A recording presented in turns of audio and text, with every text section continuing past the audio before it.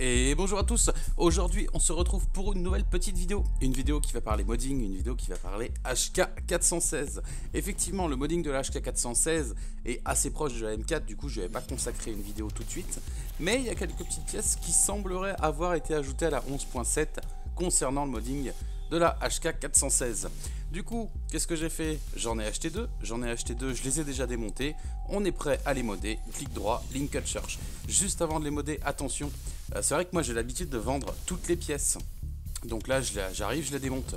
Attention, le upper receiver ne se vend pas sur les HK, donc si vous le vendez, vous pouvez vendre votre HK. Donc faites bien attention à le garder, toutes les autres pièces sont rachetables, mais euh, celui-là n'est pas achetable, donc faites attention. Du coup, clic droit, Linked Search, Vital Part. Et là, on arrive. Upper Receiver, comme je vous l'ai dit, n'est pas achetable. Du coup, il n'y a que des joueurs qui le vendent éventuellement. Mais bon, à 140 000 roubles, on va éviter. Pistol Grip, là, il y en a plein. Euh, c'est toujours celle de base. Euh, elles sont disponibles sur toutes les armes. Encore une fois, la Skeleton, comme sur la MPX, est assez jolie. Sinon, la Gralès est assez mieux. Euh, effectivement, plus d'ergonomie. Bon, j'ai fait une erreur, j'ai acheté, acheté toutes mes Gralès et du coup je ne peux plus en acheter avant 2 heures. Donc je vais devoir en acheter une à un joueur pour pouvoir euh, un peu faire un modding ergonomique. Sous le même principe que le modding avec la MPX, je vais faire un modding ergo et un modding recoil. Du coup, voilà pour les pistol grip, hein. vous faites le tour si vous voulez regarder les stats. Gralès, Skeleton, Skeleton pour le design, Gralès pour euh, les statistiques, en tout cas ergonomiques. Au niveau des crosses, plusieurs choix. On a la possibilité de rajouter des crosses de base qui sont pas oufissimes, 38 de recoil, 5 d'ergonomie. Sinon, ce qui va nous intéresser le plus, soit c'est une crosse full ergonomie, voilà, plus 16 d'ergonomie. On peut l'acheter, je pense que c'est la meilleure. Ou sinon, ce qui va nous intéresser aussi, ça va être directement le call buffer tube, puisque c'est celui qui va nous permettre de mettre toutes les autres crosses. Donc, hop, on en achète un, on fait un clic droit Link Cut Search dessus pour regarder un petit peu qu'est-ce qu'il nous propose comme cross. Au niveau des crosses, beaucoup de choix, beaucoup de choix. Euh, encore une fois, euh, ils nous ont rajouté une nouvelle crosse, euh, un design un peu spécifique. D'un point de vue statistique, elle n'est pas oufissime, 35, 10. c'est pas c'est pas waouh mais bon en termes de design elle peut être sympathique personnellement je vais pas la jouer puisque les statistiques m'intéressent pas mais à voir Ensuite, au niveau des stats, on a toujours euh, la MOE, qui est la meilleure d'un point de vue recoil. On en a d'autres hein, euh, qui font euh, certaines statistiques assez bonnes, par exemple la MFT Buzz, Stock, qui a la 39% de recoil plus le 1% du call buffer tube. On arrive sur du 40%, c'est pas mal. Des crosses toujours inutiles qui sont là disponibles sur les armes de base. J'ai l'impression qu'ils nous en ont rajouté une. c'est la HKE1 Stock for AR15 and compatible. Hop, je vais recliquer pour voir. J'ai l'impression que c'est une nouvelle, j'en suis pas sûr. Euh, c'est un peu comme la MFT du coup. 39% de recoil, mais cette fois-ci 3, 3 points d'ergo. Ça peut être intéressant éventuellement. Euh, sinon, ça c'est de la base, ça c'est de la GL Shock utile pour une quête, mais ça reste là. Donc, moi, ce qui va m'intéresser forcément, c'est la MOE. Sur la MOE, on met toujours le petit morceau de caoutchouc qui est disponible chez Peacekeeper pour. Ah, chez Skyer aussi maintenant, ok. Ou peut-être qu'il y était déjà mais pour une cinquantaine de dollars. Hop. Donc on va avoir à droite le recoil, à gauche l'ergonomie. Donc le recoil, l'ergonomie. On recommence, clic droit, linked search pour faire un point sur les euh, chargeurs. Au niveau des chargeurs, plein de chargeurs disponibles. Ils en ont rajouté quelques-uns avec des designs et des statistiques un peu particulières. Là, je vous invite à cliquer dessus et à regarder un peu. Ce qui va pouvoir changer, c'est éventuellement l'ergonomie. Ce qui va pouvoir changer aussi, c'est la vitesse de chargement-déchargement des balles, la vitesse de check par rapport au nombre de balles restantes dans le chargeur. Euh, à vous de voir en fait qu'est-ce qui vous intéresse le plus. Ils nous ont euh, modifié un peu le design d'un des chargeurs, je le trouve assez sympathique, pourquoi pas. Typiquement on voit que les chargeurs 60, on met beaucoup plus de temps à checker le nombre de balles qu'il y a à l'intérieur, plus 25% du temps de base. Et ils nous ont surtout rajouté, oh là là, un super chargeur, le chargeur 100 pour HK. On se souvient que la HK c'était un laser, elle tirait vraiment très droite. Alors certes, il y a des stats ridicules sur cette arme, euh, sur euh, ce chargeur, moins 20%, moins 20 points d'ergo, plus 30% pour euh, checker le nombre de balles restantes à l'intérieur, plus 15% pour rajouter des balles dedans ou pour les enlever. Donc en plus de ça, ils prennent 3 places, donc forcément soit TV110, soit Gilet Alpha. Est-ce qu'un jour je jouerai avec les chargeurs 100 Je sais pas Pour l'instant, c'est vrai que je les vends au flea market. Peut-être qu'un jour, je ferai une partie pour rire et jouer avec, mais clairement, ça m'intéresse pas beaucoup. Au niveau du charging handle, on a trois possibilités. Celui de base, on a le Raptor qui nous fournit 3 points d'ergo en plus. On a euh, donc celui de base qui nous fournit plus 1. Non, plus 0 et on en a un autre qui nous fournit plus 1. Donc là, on fait pas le difficile. Pour les deux, on achète à chaque fois euh, le Raptor. On va pas non plus cracher sur les points d'ergo. Ok, on se retrouve après une petite transition. Effectivement, j'ai fait quelques recherches en off parce que j'ai beaucoup galéré dessus et euh, c'est pas forcément quelque chose de très intéressant.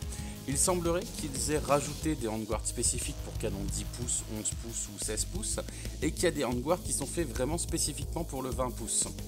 Logiquement, plus votre canon est court, moins le malus d'ergonomie est élevé. Donc là par exemple sur un canon court on est à moins 5 d'ergo. Moins 5 d'ergo, si jamais on a euh, un, un handguard pour canon court, on a plus 8, donc on est à plus 3. Si jamais on prend un canon long, on est à moins 13 et le handguard spécifique dessus plus 15, donc on est à plus 2. Donc la différence entre un canon long avec son handguard spécifique euh, ergonomie et un canon court et son handguard spécifique ergonomie, on n'a que 1 d'ergo de différence. Donc pour le coup, euh, contrairement à d'habitude, je vais jouer en fait une HK longue, mais spéciale ergonomie. C'est assez intéressant comme principe. J'aime beaucoup ce qu'ils ont fait. Est-ce que c'est une bonne chose ou une mauvaise chose Je ne sais pas encore. Mais, euh, mais voilà. Donc, maintenant, il va falloir, pour les rails, trouver les, pour les handguards, trouver les différents rails. Donc, pour le premier, on va regarder un petit peu. Donc, on a la possibilité d'acheter chez Peacekeeper le rail 6 pouces pour la HK Recoil. Et pour la HK euh, directement ergonomie, on va regarder les rails qui sont disponibles on peut prendre les 4.1 pouces. On va prendre le 2.5 aussi, parce que comme je vous l'ai dit, je rajoute souvent euh, des, accessoires sur mes armes. Ce qui va être intéressant maintenant, ça va être la poignée.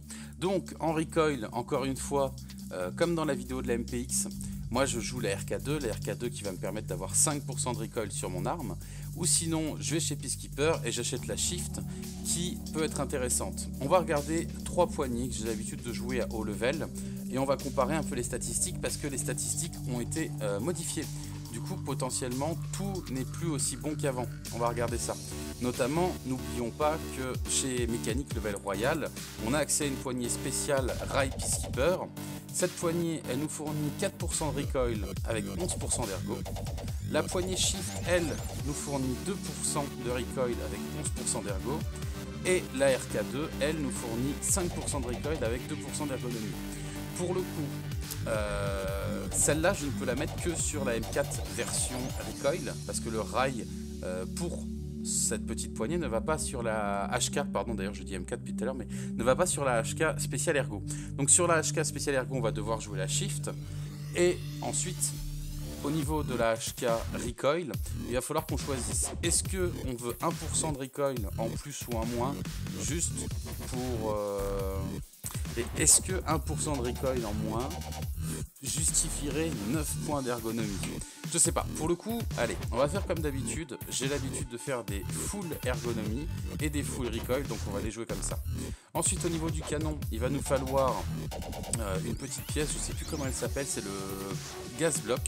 Donc c'est celle-là, elle est disponible chez Mécanique ou sinon directement sur la HK, ça sert à rien de la vendre, mais c'est vrai que moi par habitude je les vends. Donc là, on se retrouve avec deux armes qui sont plus ou moins déjà modées. Ce qui va nous manquer, ça va être l'accessoire au bout du canon.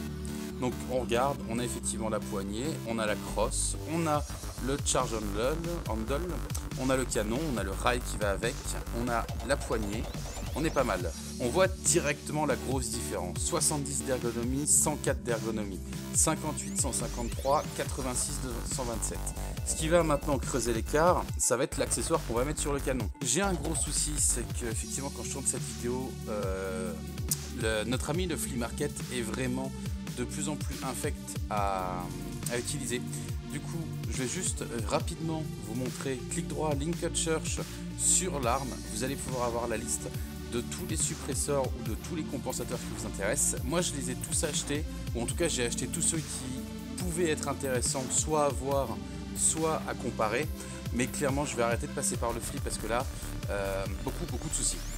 Donc, au niveau des ajouts, au niveau euh, des futurs compensateurs, au niveau de tout ça, tous les accessoires qu'on peut mettre au bout du canon d'une HK.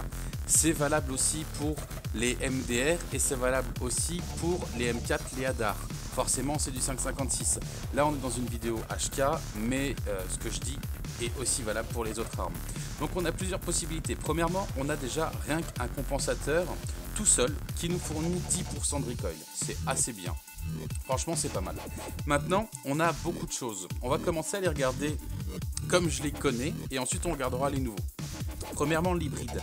L'hybride va nous fournir 4% d'ergo en moins et 3% de recoil en moins. Et le compensateur ne nous fournit rien. Donc, il n'est pas oufissime, mais bon, il est disponible dès le début, ça peut être intéressant. Maintenant, euh, il faut regarder quelque chose, c'est que on a du coup euh, des nouveaux silencieux qui sont arrivés, des nouveaux compensateurs qui sont arrivés avec cette 11.7 et euh, ça reste des nouvelles choses. Déjà on voit qu'ici j'ai deux silencieux qui vont tous les deux sur chacun des deux compensateurs. Donc autant en choisir qu'un seul parmi les deux. Lequel est le mieux? Il y en a un qui nous fournit 2% de précision, 5% de recoil, 0,5 de muzzle velocity, l'autre qui nous fournit 3, 6, 0,5. Donc clairement autant prendre celui qui nous fournit 6% euh, de recoil. Au niveau des deux silencieux, donc là on en a deux. Alors c'est pas exactement les mêmes, je crois qu'il y en a un qui est plus grand que l'autre. Il y en a un qui nous fournit 3% d'accuracy en moins, moins 2 d'ergo et moins 1 de recoil. L'autre qui nous fournit moins 3% de recoil, moins 1% d'accuracy, moins 4% d'ergo. Donc certes, on perd en ergo, mais on perd aussi en recoil. Donc c'est plus intéressant pour une version recoil de jouer avec un silencieux recoil. Ensuite, si on compare par exemple au petit compensateur plus silencieux de RSAS qu'on peut désormais mettre euh, sur les canons de 5.56 pourquoi pas? Là, on a du 6% de recoil avec du 5%. Donc là, on est à moins 11% de recoil. Par contre, effectivement, moins 6% d'ergonomie. Mais pour le coup, on a du moins 11. Un des nouveaux qu'ils ont ajouté, c'est celui-là. Aucune statistique sur le compensateur.